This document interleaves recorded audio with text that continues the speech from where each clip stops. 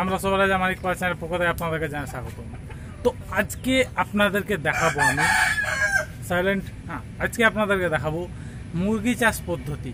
আপনারা কীভাবে মুরগি চাষ করে এক একটি মুরগি আপনি এক হাজার থেকে এক লাখ টাকা পর্যন্ত বিক্রি করতে পারেন?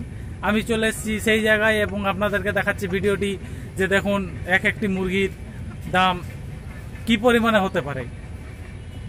এক লাখ টাকা পর্যন্ত। কথাটা অবাক লাগল, আপনি দেখুন।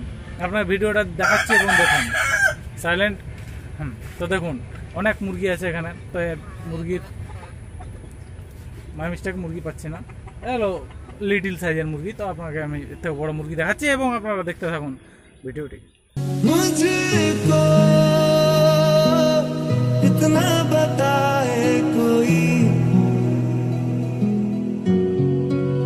कैसे तुझसे दिल ना लगाए कोई।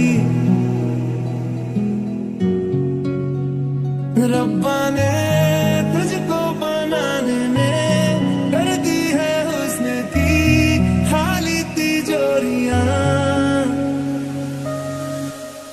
केसरिया तेरा इश्क